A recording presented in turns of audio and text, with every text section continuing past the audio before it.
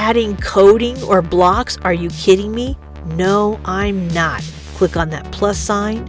We're going to click on more over on the right hand side and click on code block. Now your students will be able to add code to their Figma project.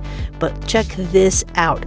Look at all of the languages that the students can use to add their code. This is amazing, especially for our new coders that are out there. Thanks for watching, and if you hit that subscribe button, you'll get more videos about Figma.